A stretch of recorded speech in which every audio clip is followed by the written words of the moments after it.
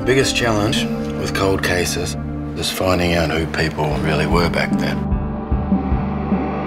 James Cormack uh, is a detective from Brisbane and he has an assignment in Ashford, a small town in Queensland, uh, where a girl was murdered, Isabel Baker. And he has a, a lot of trouble getting gaining the trust of the um, local community. Big hero from Brisbane. You know who might have done it? Cormack is very charismatic, it's fun, but he can be uh, very intense. He's got a lot of anger issues and a lot of childhood issues, and hopefully he's a very deep character. They say that darkness gives birth to monsters. Turn on the light, and they're gone.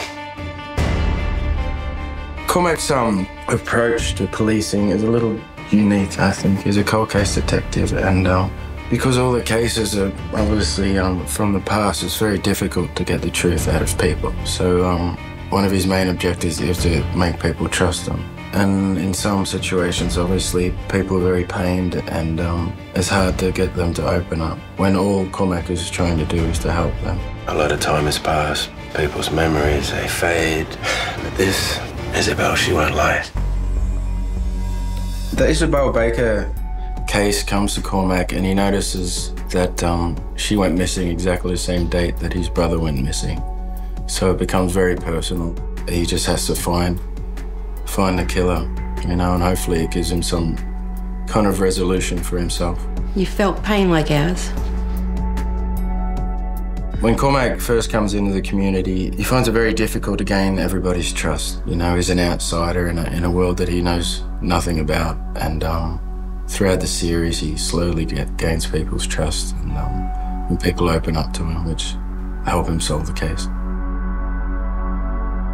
Cormack uh, meets Hazel, the sister of Isabel, who was murdered, and he feels that she's uh, he's in to the local community, and um, they start working together. And slowly, he gains her trust, and vice versa. She's uh, integral to solving the case. No one is going to talk to you unless they trust you.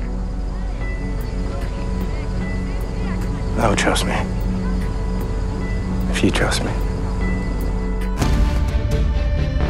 Throughout the series, um, everybody faces a bit of danger because there's obviously a killer in town who's still around, and um, there's always that fear that uh, he'll do anything to cover up the crime. Someone we trust took her from us. This was not a crime of opportunity.